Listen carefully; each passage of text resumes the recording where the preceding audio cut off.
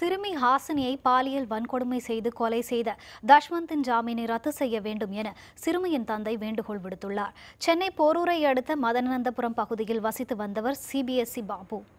அவருடைய ஏழு வயது மகள் ஹாசினி அதே பகுதியைச் சேர்ந்த பொறியியல் பட்டதாரியான தஷ்வந்த் சிறுமி ஹாசினியை கடந்த பிப்ரவரி மாதம் பாலியல் வன்கொடுமைக்கு பின் படுகொலை செய்தார்.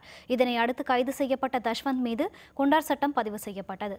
இந்நிலையில் தஷ்வந்த் மீதான குண்டர் சட்டம் அண்மையில் ரத்து செய்யப்பட்டதால் தஷ்வந்துக்கு ஜாமீன் கிடைத்துள்ளது. இது தொடர்பாக சென்னை பத்திரிகையாளர் மன்றத்தில் செய்தியாளர்களுடன் பேசிய ஹாசினியின் தந்தை சிஎஸ்பி பாபு குற்றவாளியின் ஜாமீனை ரத்து செய்ய வேண்டும் எனவும் முதல்வர் இந்த வழக்கில் சிறப்பு கவனம் செலுத்தி நீதி கிடைக்க செய்ய வேண்டும் எனவும் கேட்டுக்கொண்டார்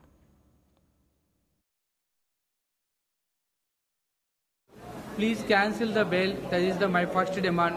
My honorable request to the, our CM, please concentrate on the case and please look on special effort on the case. I request you to PD Act apply on the this case.